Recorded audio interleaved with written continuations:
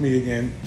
And um, I know I said I was going to be talking about players and teams and uh, all the things that have happened over the last 40 years. But because of the things that are going on aside from that, I thought I'd uh, sort of catch up on something that I also think is kind of important.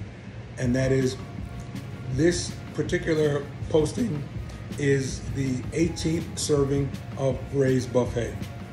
And those of you who are new to this channel or me or whatever are, are asking, what is Ray's Buffet? Well, let me give you a quick crash course. Uh, in my explanations that I've put up of what's or the descriptions of what I've been writing about, one of the hashtags is hashtag cancer. So what do all these basketball posts have to do with cancer? Actually, nothing. However, short version, I was diagnosed with cancer. I went through the treatment. I didn't like the treatment, so I decided to stop the treatment. And uh, the Ray's Buffet thing has to do with instead of me trying to tell people, you know, oh, you shouldn't do this or you shouldn't do that, I'm not an influencer by any way, shape, or form.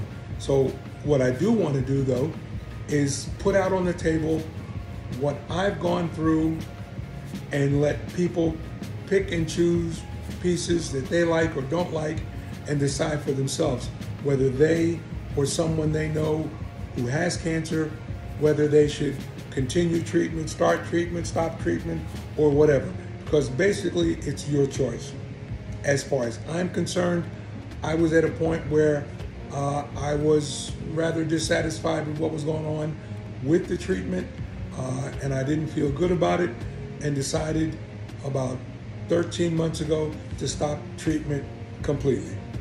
Uh, since that time, things have gotten considerably better for me physically and mentally uh, to the point where I was able to go back to doing all the stuff that I used to do. And that's where we are right now. So, um, recently I can tell you that um, I had a blood work done and the PSA continues to go up. Uh, the doubling rate, for those of you who know anything about this particular aspect of it, the doubling rate is mm, not really acceptable, and neither is the PSA number itself. Uh, I'm not going to go into all the details, but uh, let's just say it's considerably over four. You can, well, it's 300 something or other, um, which is not good. The doctors didn't like it when I went in last week. I had a, a, a, a scan last week. Um, I'm sorry, I had an MRI last week and they found some additional stuff and they're not sure exactly what it is. So in 12 or 13 days, I have a CT scan and a PET scan scheduled, and they'll try to determine what those things are. Um, overall, I feel pretty good. Uh, the last five weeks, it's gone between discomfort and pain occasionally. Um, but I can live with it. Um, so that's where we are. Uh, at this point, I still feel that my choice to discontinue treatment was right for me.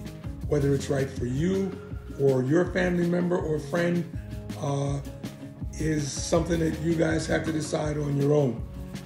Um, to finish up on that, uh, the last consultation with my doctors was that they want to start a different treatment uh, with different hormone therapy, etc., etc., and they want me to think about it.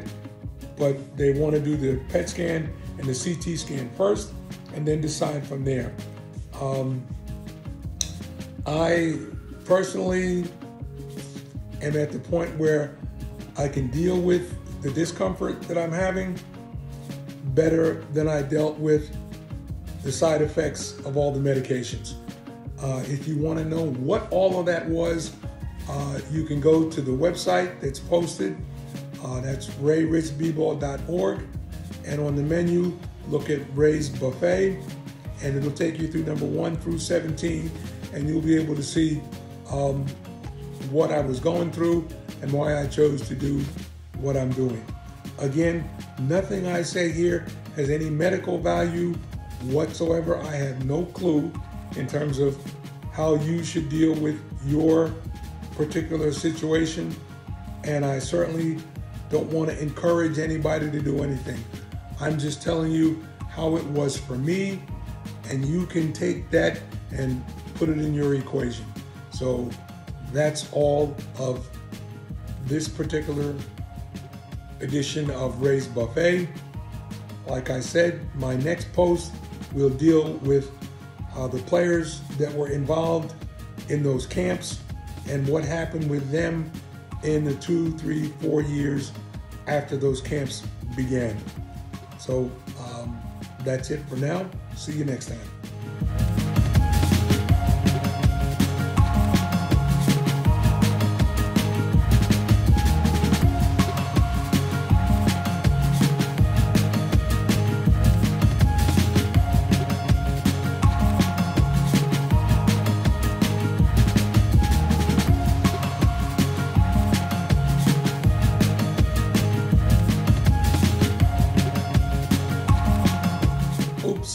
I lied. My website is not rayritzbball.org. It's rayritzbball.com. That's it.